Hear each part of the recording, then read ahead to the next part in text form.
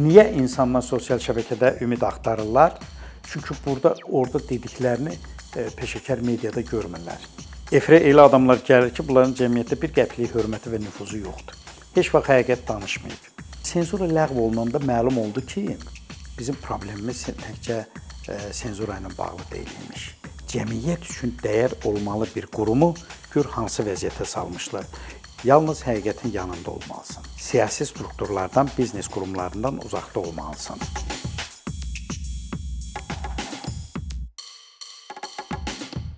Qul müəllim salam. Çox sağ olun e, gəldiyiniz üçün. Qul müəllim mən nədən başlamaq istəyərdim? Biraz istəyərdim ki, belə konseptual cığırdan girək bizim ə, e, söhbətimizə. Azadlıqlarla bağlı belə bir fikir var ki, ə, azadlıqlara var gedən yol. Yəni öncə başqa şeylər təşəkkül tapmalıdır ki, ondan sonra cəmiyyətə tam azadlıqlar verilsin və onun nəticəsində bu e, inkişaf gəlsin. Bir yanaşma da var ki, yox, azadlıqlar bu bizim təbii haqqımızdır, insan olaraq bizim haqqlarımızdır. Bu qabaqcadan olmalıdır ki, inkişaf buna uyğun da getsin.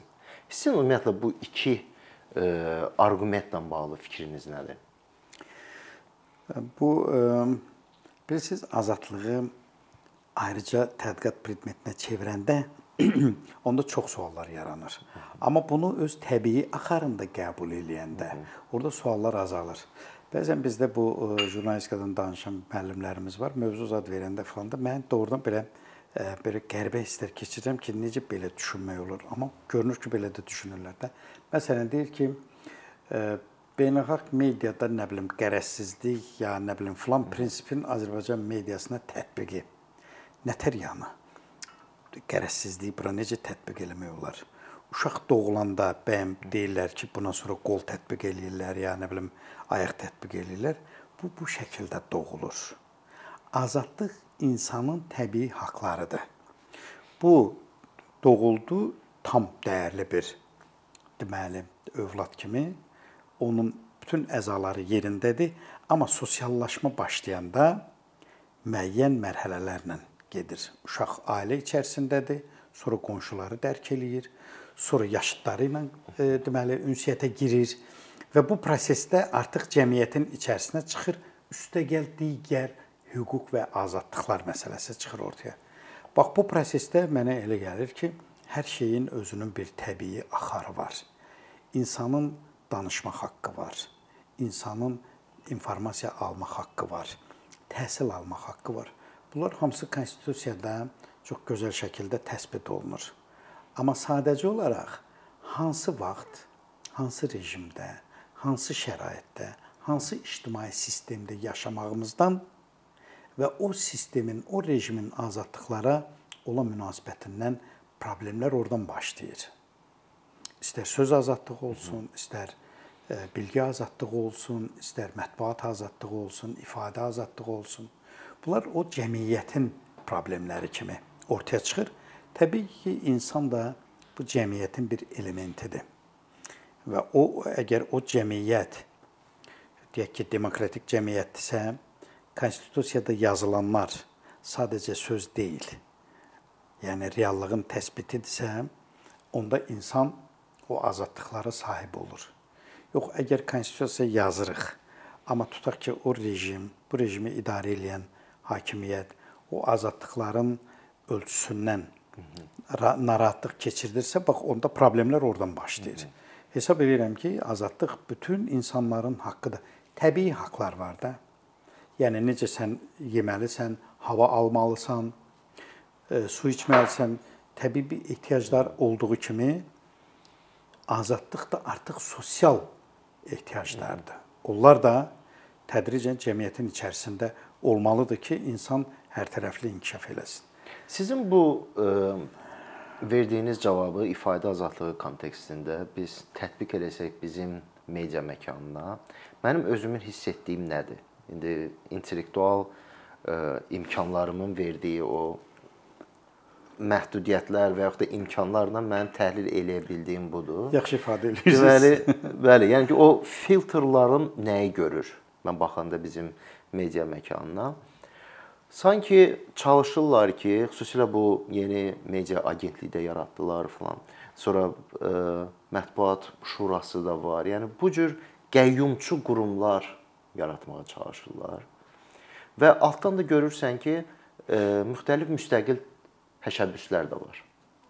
Bu müxtəlif ə, müstəqil təşəbbüs göstərən media qurumları ki, yoxdur. İstər gənclər olsun, istər köhnədən qalanlar olsun, onların çox ciddi sıxıntıları var.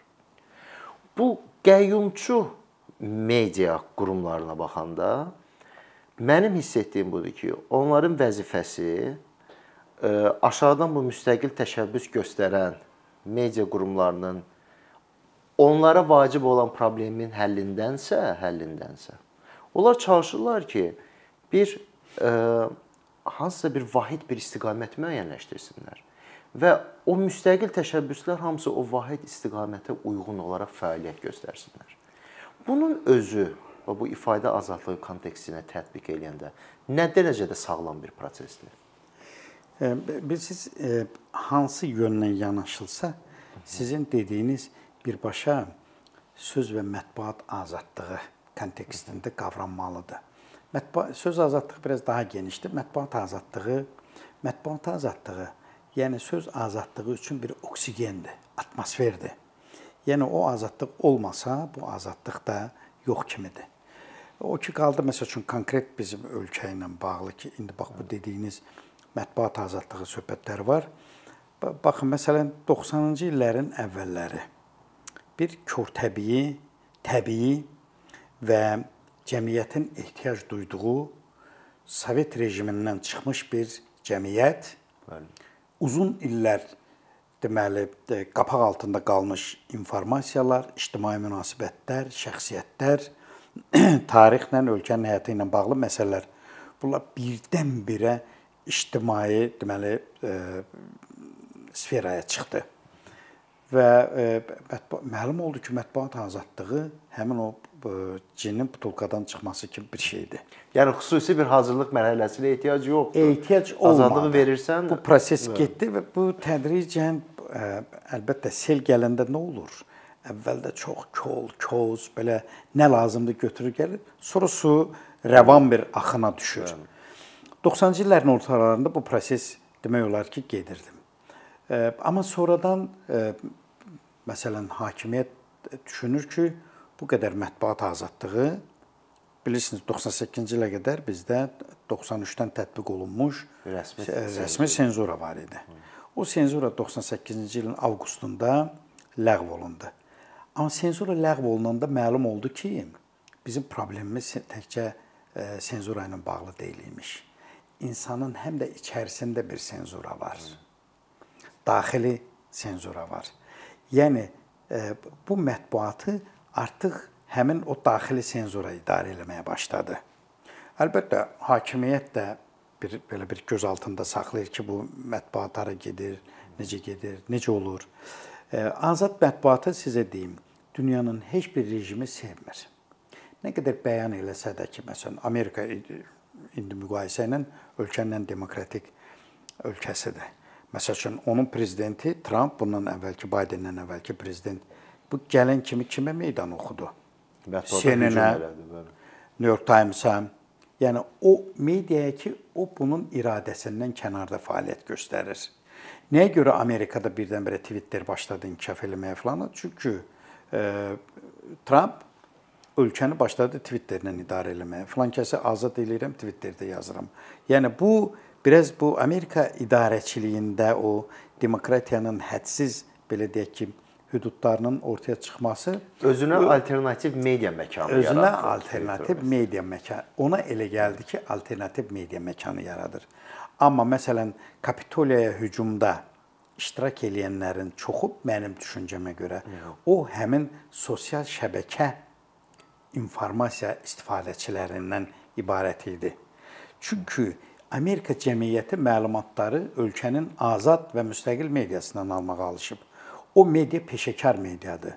CNN olsun, nə bilim CSPN olsun, ya e, deməli e, digər onların ictimai televiziyası olsun, CBS, olsun, MSNBC. E, bəli, bunların hamısı demək Fox və s. yəni bunların hamısı müəyyən qaydalarla işləyən deməli e, media qurumlarıdır. Qəzetlər həmçinin e, New York Times, Washington Post bunların hamısının ənənəsi var. 150 il, 200 il mövcud olan qəzetlərdir bunlar. Bunların prinsipləri var, nəsildən nəsillərə keçir. Onlar əməl olunur. Etik qaydalar var. Yalan hardadır, həqiqət hardadır? Bunu araşdırmağa bir cəhd var. Ona görə bax bu qəzetləri hakimiyyət ki öz iradəsinə tabe eləyə bilmir, onda nə edir? Başlayır buna qarşı mübarizə aparmağa. Amma nəticə etibarilə Amerika cəmiyyəti onu qəbul eləmədi. Müəyyən çalxalanmalar, silkələnmələr olsa belə, amma yenə nəticədə o öz hər şey öz axarına düşür. Azad media Amerika cəmiyyəti üçün çox böyük dəyərdir. BBC ictimai televiziyadır, Britaniya cəmiyyəti üçün böyük bir dəyərdir. Milli sərvət sayırlar bunun sözünün həqiqi mənasında. İndi Amerikadan gələndə Azərbaycana nə baş verir? Hakimiyyət medianın hədsiz dərəcədə müstəqil davranışlarına dözümlü münasibət göstərməkdə çətinlik çəkməyə başlayır. Və bu halda hansı məsələlər ortaya çıxır? Medianı bəlli bir səviyyədə tənzimləmək. Yəni bunu bir növ idarə eləmək. Bax bu fikrə düşəndən sonra bax o dediyiniz qəyyumçu təşkilatlar başlayır ortaya çıxmağa. Məsələn 2003-cü ildə Mətbuat Şurası yaradılanda əsas məqsəd bu idi ki, e, ölkədə söz mətbuat azadlığı üçün bir qarantı olsun. Media özü də təkcə azadlıqları yox, həm də məsuliyyət haqqında düşünsün. Bu e, yazıçı Anarın bir e, konfransda bir çıxışı çox xoşuma gəldi. Bu media azadlığı ilə danışanda yaxşı müqayisə apardı. Dedi Amerikanın bu başında Nyu Yorkda azadlıq heykəli var. Bu çox yaxşıdır. Amma o birisi başında da bir məsuliyyət heykəli qoymaq lazımdır ki, yəni azadlığın sərhədlərinin harda dayandığını biləsən. Əgər insanlar mətbuatda təhqir olunursa, yalanlar baş alıb gedirsə və s. ondan sui-istifadə halları artırsa, deməli azadlığın bir məsuliyyət sərhəddi də olmalıdır. Əslində bu peşə etikasında da var. Ya birinci prinsip nədir? Yalnız həqiqətin yanında olmalısan siyasi strukturlardan, biznes qurumlarından uzaqda olmalısan. Cəmiyyətin yanında olmalısan. Cəmiyyətin xeyri üçün çalışmalısan. Media bunu həmişə eləyə bilirmi? Hər şeyi yazmaq, yəni hələ həqiqətin yanında olmaq demək deyil. Ona görə bax o etik qaydalar, etik prinsiplər, bunlar da medianı idarə edir. Ona görə bax mətbuat şurasını yaratmaqda bir ki, azadlıq, məsuliyyət və eyni zamanda cəmiyyətlə o media qurumları arasında bir tənzimlənmə olsun ki, mediadan şikayətləri o media deməli mətbuat şurasındakı şikayətlərə baxan komissiya məhkəməyə çıxmadan məhkəməyə qədərki dövrdə bunları həll eləsin. Yəni ortaq bir həddə gəlsin ki, media məhkəmələrə çəkilməsin və s. Çünki o çox e, deməli media qəzetlərə verilir 1 milyon, 2 milyon cərimələr verilirdi qəzetlərə. Bax, nəticədə bu mətbuat şurası yaradılandan biraz daha məsələn o bəlkə bir 4-5 il yaxşı, normal çalışdı mənim düşüncəmə görə. Amma ondan sonra proseslər başladı. Artıq bu dəfə o qəyyumçu təşkilatın vasitəsilə ona başqa bir təşkilatda qoşduq biz, Kivə Dəstək Fondu. Bəli. Yəni pul məsələsi ortaya çıxdı. Medianın indi ən zəif yeri maliyyə resurslarıdır. Maliyyə pulun yoxdursa, normal azad bazar iqtisadiyyatı yoxdursa, reklam bazarı yoxdursa və o reklam bazarı getdikcə o da məhdudlaşdırıldı, darlaşdırıldı. Gəldi çıxdı bəlli bir həddə ki, həmin o kivə dəstək pulun vasitəsilə və mətbuat şurası da təbii ki, burada özünün belə mənfi rolunu oynadı və nəticədə biz artıq ələ baxan, puldan asılı olan, hökumətin dediyi ilə oturub duran ictimai problemləri deyil, hakimiyyətdən gələn e, mesajları yazan, reallaşdıran bir media ilə üz-üzə gəldik. İndi də o şəkildədir. Yəni artıq son 1 ildə müəyyən proseslər gedir ki, bunu biz dirçəldək. Doğrudan da e, ciddi addımlar atıldı. E, məsələn, Milli Teleradio Şurasının rəhbərliyi dəyişdirildi. Kifə Dəstək Fondu rəhbərliyi dəyişdirildi və sonra ümumiyyətlə ləğv olundu sonra ictimai televiziyanın çox ciddi bir məsələdir ki, onun rəhbərliyi dəyişdirildi. Çünki onu artıq ASTV-nin 5-ci təkərinə çevirmişdilər. ASTV-nin o ASTV tarixinin ümumiyyətlə kriminal sifəti olan bir sədr var idi. Arif Alışanov bu gün də ondan çox danışırlar ki, maliyyə büdcəsini, maliyyə pozuntuları belədir, büdcədən bu qədər pul uğradı. Adı cinayətdə, adamı öldürməkdə, qətldə hallanırdı da filan. Yəni onun idarə elə ictimai televiziyanı o idarə eləyirdi. İctimai televiziya ASTV qarşısında hesabat verirdi. Yəni cəmiyyət üçün dəyər olmalı bir qurumu gör hansı vəziyyətə salmışlar. İndi orada şükür yeni adam qoyulub bu e, Balaş Qasımov mənim düşüncəmə görə çox ə, e, yaxşı menecerdir, televiziya işini gözəl bilir, kifayət qədər yüksək səviyyəsi var, televiziya işini bilir, amma nə nə olmalıdır? Bunun azadlığının sərhədləri geniş olmalıdır. Cəmiyyət orada ifadə olmalıdır. Televiziya ekranı, o cümlədən də ictimai televiziya birinci növbədə bu bir sosial harmoniya yaratmalıdır. Bir sosial platforma üçün bir meydan olmalıdır ki, insanlar orada problemlərini desinlər. İndi diskussiya verilişləri artıb orada məsəl üçün diqqət mərkəzi, yekun, başqa diskussiya proqramları var. Mənə xoş gəlir. Vaxtı ilə o adamları ki, o televiziyanın həndəvərinə buraxmırdılar. İndi o adamlar orada e, diskussiyalarda iştirak eləyir, fikirlər deyirlər. Dünya dağılmır ki. Normal bir proses gedir, gedir. Ona görə e, məsələn o o xəttə gedə bilsə, əlbəttə o ictimai televiziya bax bizim o dediyimiz azadlıqları ekrana daşıya bilir. İfadə azadlığını, söz azadlığını və mətbuat azadlığının göstəricinə çevrilir. Bu birisi qurum. E, KİVDF yəni nə idi bunun işi? Qəzetlərə özdə layiq olmayan qəzetlərə ildə 60 min, 80 min, 100 min, 120 min pul verilirdi. Özdə bunların bir çoxu məmurlara bağlı idi. Yəni məsələn tutaq ki, bu işə rəhbərlik edən adam hə Əli Həsənov onun himayəsində olan qəzetlərə pul verir. E, nə bilim, e, yaxud nədir o fondun sədri vardı Vüqar Səfərli. Hə bunun bir mövqe qəzet 150 min pul verirdi. Heç o qəzeti 15 adam oxumurdu. Niyə dövlət buna 120 min pul verir? Yəni bu KİV-DF-nin mövcud olduğu illər ərzində müxtəlif rəqəmlər deyirlər də 30 milyon, 40 milyon, 50 milyon pul xərclənib. Amma o pula, o resursa bir mətbəə təşkil eləmək olardı. Əlbəttə olardı ki, qəzetlər orada ən müasir şəkildə çap olunsunlar. Qəzetlərin özü nə dərəcədə maraqlı idi ki, bunda istifadə eləsin, bu fürsətdən istifadə eləsinlər. Onlar özü üçün hansı belə kontentin daşıyıcıları olurlar.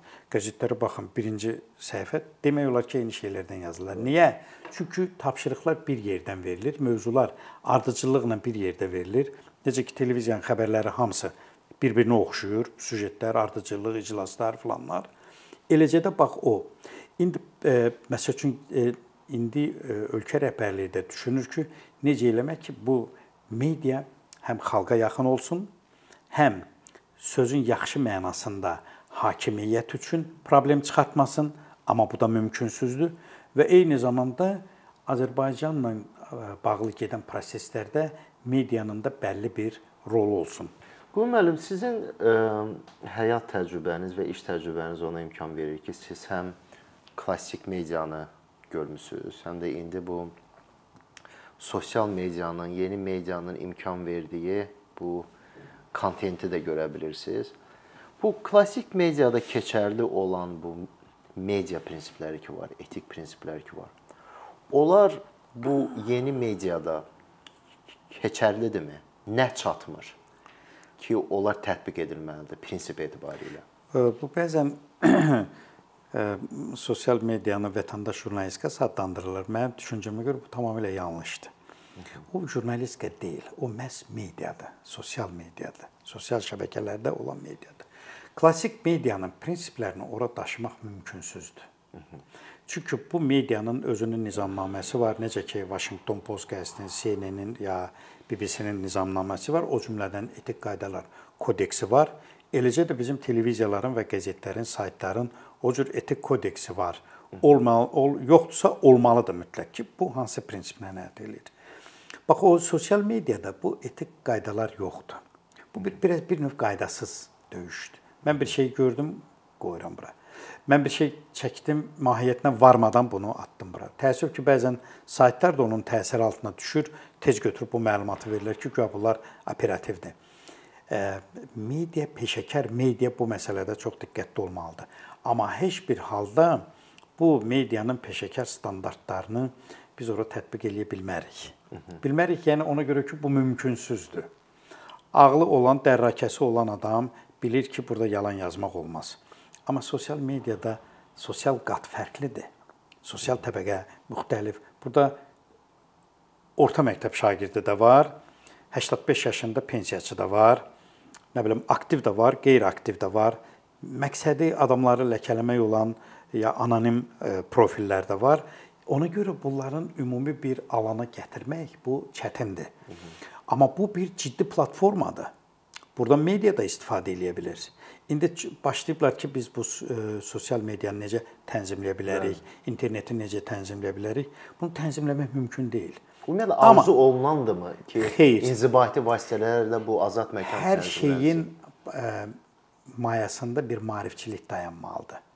Məncə biz məsəl üçün Almaniyada cəhd elədilər ki, bunu tənzimləsinlər sosial medianı ya interneti filan. Amma bu qərara gəlirlər ki, burada hansısa standartları hazırlamaq və təlqin eləmək o daha effektlidir.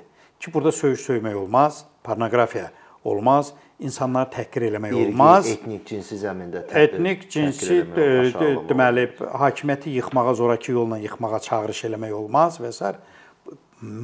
mahiyyətcə bu anlaşılandır və belə də olması lazımdır. Yəni mən problemi yazıram. E, qonşumda bir e, ciddi problem var, ağır xəstə var, ona kömək edən yoxdur. Bunu Sosial Təminat Nazirinə yaza bilirəm. E, hansısa problem var təhsildə, bunu burdan Təhsil Nazirinə müraciət edə bilirəm. Televiziya və ya peşəkar media bunu eləyə bilmir. İstəsə eləyir, amma onun o cür deyək ki, resursları yoxdur. Ona görə indi bu gün sabah alternet fəaliyyətə başlayacaq. Yəni bu odur ki, kosmosdan internet siqnalları verilir. Yəni onu heç cür nə blok eləmək olacaq, nə buna deməli qayda qoyacaq Rabitə Naziri ki, bunu bloklasın və s. Ona görə insanların şuurlu bir şəkildə bu məsələyə yanaşması lazımdır. Yox, əgər sosial şəbəkədə bu cür məsələlərin olmağının qarşısını almaq preventiv addım kimi, qabaqlayıcı addım kimi bu hamısından yaxşıdır. Niyə insanlar sosial şəbəkədə ümid axtarırlar? Çünki burada orada dediklərini e, peşəkar mediada görmürlər. Televiziya bu məsələləri müzakirə eləsə, səhiyyəni tənqid eləsə, nə bilim təhsildəki problemləri tənqid eləsə, sosial təminatdakı korrupsiyanı, rüşvəti tənqid eləsə, kimin nə işi qalıb ki, bu girsin sosial şəbəkədə onlar eləsin. Ona görə biz bu alanı canlandırmalıyıq ki, sosial şəbəkə üçün oksigen azalsın, yük azalsın orada. Yəni Baxın da müharibə vaxtı insanlar məlumatları hardan alırdılar? Ancaq peşəkar mediadan. Hətta ASV-yə baxırdılar. Yəni niyə? Çünki ə, e, ən ciddi, dəqiq, rəsmi xəbərlər orada verilirdi və s. Ona görə yəni biz peşəkar medianı inkişaf elətdirməliyik ki, cəmiyyəti sosial medianın ümidinə qoymayaq.